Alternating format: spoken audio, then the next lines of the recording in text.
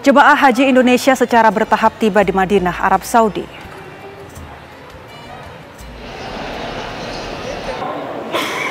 Pada hari ini pemirsa dijadwalkan 7.000 jemaah tiba di Bandara Amir Muhammad bin Abdul Aziz Madinah. Para jemaah tersebut berasal dari berbagai embarkasi, di antaranya adalah Surabaya, Padang, Batam, Makassar, Kertajati, Palembang, serta Jakarta. Hingga Rabu sore, lebih dari 19.000 jemaah haji Indonesia yang sudah tiba di kota Madinah. Jemaah akan berada 9 hari di Madinah sebelum berpindah ke Mekah.